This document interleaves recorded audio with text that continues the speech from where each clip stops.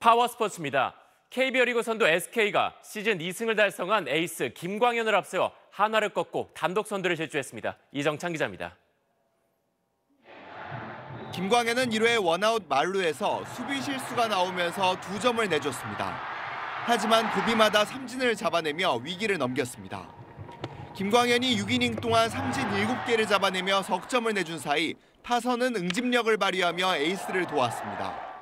3회 초 선두 타자인 최양부터 정희윤까지 다섯 타자 연속 안타를 치는 등 순식간에 다섯 점을 내 승부를 뒤집었습니다. 8회 롬에게 쐐기 홈런을 더해 SK가 한화를 8대 3으로 꺾고 선두 자리를 지켰습니다.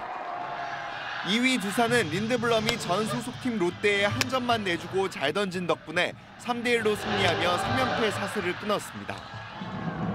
키움은 포수 박동원이 시즌 첫 경기에 나선 가운데 안우진의 호투를 앞세워 3연승에 성공했습니다. 6과 3분의 2이닝 동안 KT에 한 점도 내주지 않은 안우진은 시즌 첫 승을 챙겼고 박병호는 시즌 3호 홈런을 포함해 4차례나 출루하며 4대2 승리에 힘을 보탰습니다.